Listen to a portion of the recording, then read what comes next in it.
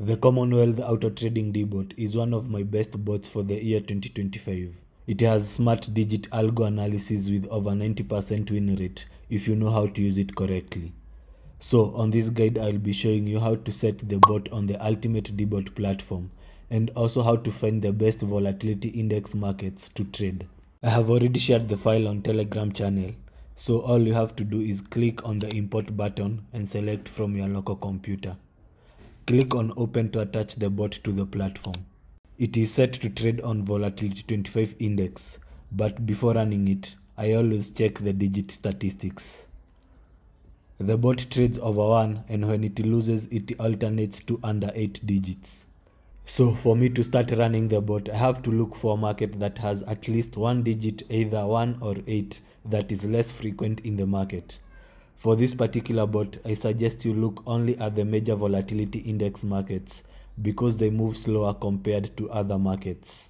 Another thing, on the Pro Analysis tool, set the number of ticks to be 100 for the most recent digit data. The Pro Analysis tool will highlight the least frequent digit with a red circle and the most frequent digit with a green circle. Like here on Volatility 75 Index Market, digit 1 is the least frequent digit with 5%. You can see it's highlighted in red. And also digit 8 is below 10%. This is a perfect scenario of running this bot.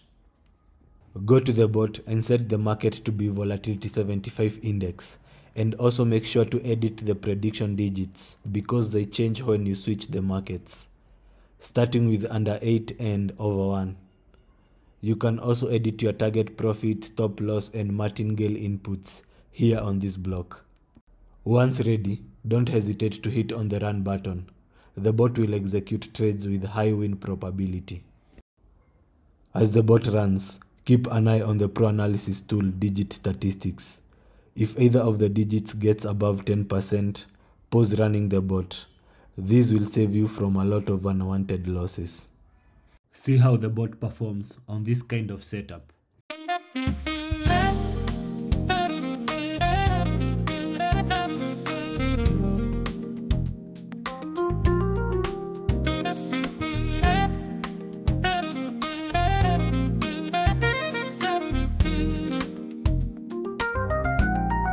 A few minutes later. Digit 8 is already at 10% and digit 1 is at 9%. So right now I should be thinking of pausing the auto trading. My target profit is set at 2% of my total capital. If it hits, I stop trading until I get a favorable market. And as expected, 2% take profit has been hit with 13 wins and 1 loss. Not much drawdown.